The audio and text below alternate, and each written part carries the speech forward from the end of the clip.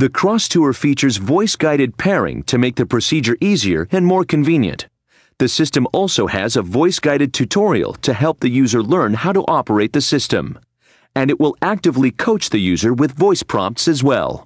To initiate voice-guided pairing, just make sure the ignition switch is turned to on and push the hands-free link talk button. The system will ask if you want to pair a phone. Push the talk button and say yes, and then follow the instructions as they're given. The importance of learning and using the proper voice commands to ensure proper system operation cannot be overemphasized. Show your customers the list of commands and demonstrate the Bluetooth help command that cues the system to list the available commands at any time.